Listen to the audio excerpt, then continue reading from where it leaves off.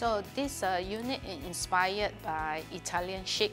So what about Italian lifestyle that uh, mesmerizes a lot? Because we always like the clean, timeless design.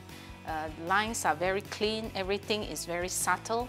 Uh, even from the ceiling design to the color. We incorporated green in many shades and uh, as you notice even from the entertainment unit to our sofas to the chair and all the upholstery because green evokes uh, the sense of calmness.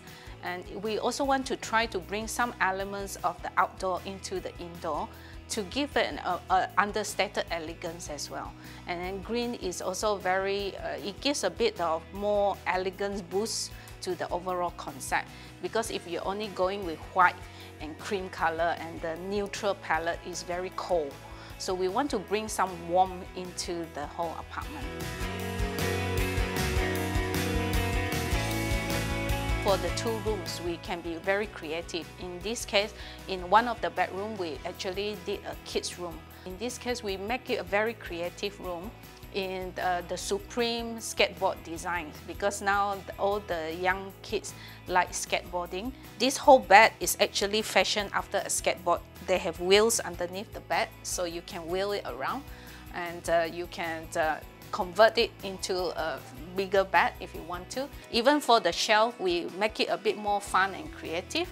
This is actually a pinboard, but we also have a shelving that is made from skateboard itself. And you can move your study desk to your bed or bedside table and with the window bay.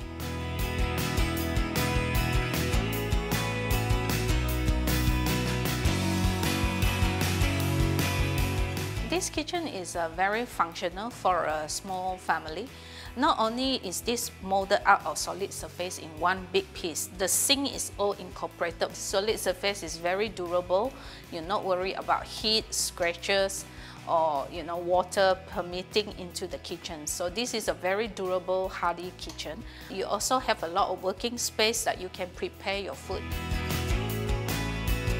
We want to show them that living in an apartment is also very, is as good as living in a house, you know, because uh, you also, is you bring the whole family together, you have a more comfortable space, you don't have a lot of dead space, and you know how to maximize the space. So we want to give people ideas and inspiration so that they can design their own apartment.